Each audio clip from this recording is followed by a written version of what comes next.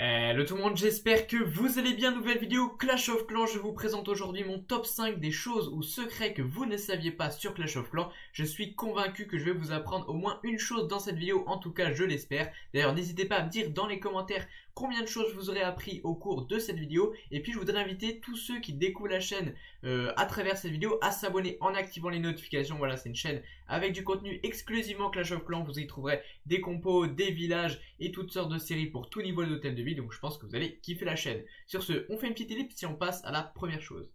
Saviez-vous que Clash of Clans peut lancer automatiquement des améliorations sur votre village si vous êtes inactif pendant plus de 90 jours? Et oui, en fait, le jeu va vous donner un petit coup de boost pour que quand vous redeveniez actif, vous ne soyez pas trop perdu et démotivé. Donc voilà, ça reste bien sûr un léger coup de boost. Hein. Vous n'allez pas euh, voir votre village s'améliorer autant que si vous étiez actif, mais c'est quand même un bon coup de boost. C'est apparu, je crois, il y a seulement quelques mois. Hein. C'était une nouvelle mise à jour. Moi, perso, j'ai été au courant que très récemment. Donc je pense que j'espère en tout cas vous avoir appris une chose, si vous voulez plus d'informations, je vous affiche un screen sur votre écran, mais en gros, sachez que ce coup de boost, vous pouvez euh, en bénéficier qu'une seule fois par an, c'est-à-dire que si vous êtes inactif 90 jours, eh bien le jeu va commencer à mettre ce système en place, mais si vous revenez actif et que vous redevenez inactif pendant 90 jours euh, la même année, eh bien vous n'aurez plus droit à ce coup de boost. Il ne pourra également pas euh, améliorer votre hôtel de ville ni poser de nouveaux bâtiments que vous n'ayez, avez pas encore posé. Il pourra simplement améliorer vos bâtiments déjà existants ou même vos héros et troupes, mais pas plus que ça. Donc voilà, c'était tout pour la première chose. J'espère que vous avez déjà appris une petite chose. Je voulais ensuite vous parler des obstacles. J'ai deux choses à vous dire à ce propos. La première, c'est qu'il existe un algorithme prédéfini pour chacun des joueurs quant aux gemmes que vous allez obtenir en détruisant les obstacles. C'est-à-dire qu'à chaque fois que vous allez détruire un obstacle, vous allez obtenir entre 0 et 6 gemmes. Donc je vais vous afficher sur votre écran à travers un petit screen l'algorithme exact. Mais sachez qu'en moyenne, vous allez obtenir 2 gemmes par obstacle détruit. Hein. Mais sinon, voilà, c'est un algorithme qui est prédéfini et qui est bien le même pour tout le monde. Ensuite, je voulais vous dire que vous pouvez avoir maximum 45 obstacles sur votre village hors objet d'édition limitée et hors gembox. Mais sinon, voilà, c'est pas très intéressant de le savoir, mais bon, c'était histoire de vous apprendre une petite chose en plus. Vous pouvez maximum avoir 45 obstacles sur votre village. Voilà, voilà.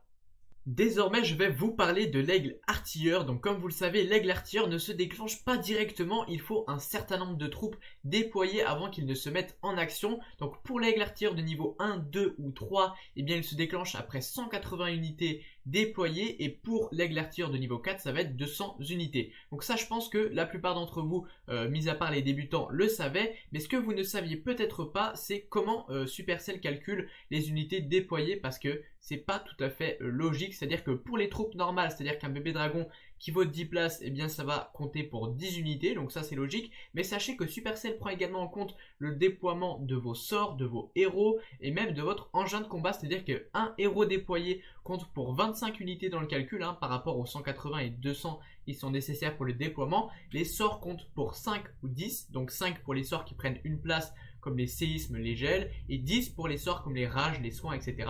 Donc ça aussi c'est pris en compte. Ensuite on a également le bélier de combat qui lui par contre c'est un petit peu bizarre mais compte seulement pour une place. En fait je dis le bélier de combat mais c'est bien sûr tous les engins de combat, hein. ils comptent pour une place, mais le contenu des engins de combat ne compte pas, de même que le contenu de votre château de clan ne va pas compter, et euh, de même également que pour les troupes qui sont déployées grâce à la capacité de vos héros. Elles ne sont pas comptées non plus. Et voilà, ça reste quand même un compte, euh, un comptage, j'allais dire. Enfin, une mesure assez euh, pas, pas tout à fait ordinaire. Hein. Je ne sais pas si vous étiez au courant de cette méthode de calcul. Dites-le moi dans les commentaires. Avez-vous remarqué qu'il y a beaucoup plus de déséquilibre en Ligue de Clans qu'en Guerre de Clans Et oui, en fait, le matchmaking en Guerre de Clans et en Ligue de Clans n'est pas le même. Alors, je vais expliquer rapidement qu'est-ce que le matchmaking. En fait, c'est ce sur quoi Clash of Clans va s'appuyer pour faire que tel ou tel clan va s'affronter plutôt que tel ou tel autre.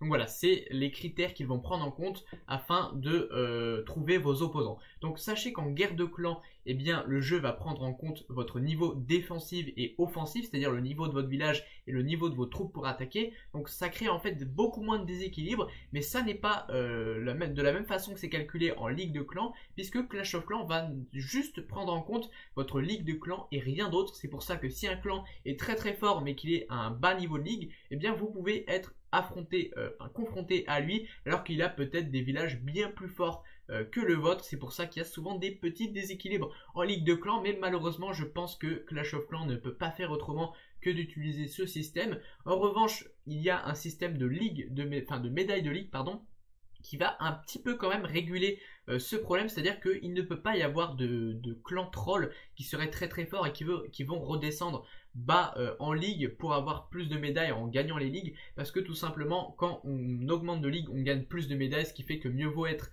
euh, en queue de tête qu'en tête de queue, j'ai envie de dire, c'est-à-dire qu'il mieux vaut être dernier mais un bon niveau de ligue que être premier mais un bas niveau de ligue. Voilà, je pense que j'ai, enfin j'espère avoir été clair et j'espère aussi vous avoir appris une nouvelle petite chose.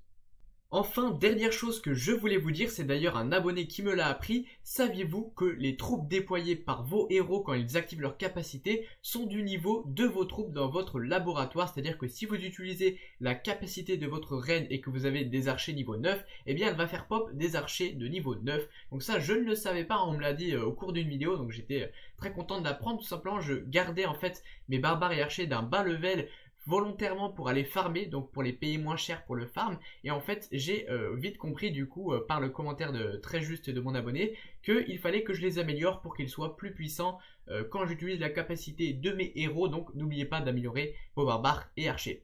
Donc voilà, c'est tout ce que j'avais à vous dire au cours de cette vidéo. J'espère que celle-ci vous aura plu. Si c'est le cas, faites-le moi savoir en me laissant un petit commentaire. Encore une fois, dites-moi combien de choses je vous ai appris en espérant que je vous en ai appris au moins une. N'hésitez pas également à vous abonner en activant les, les notifications et laissez-moi un petit pouce bleu. Allez, ciao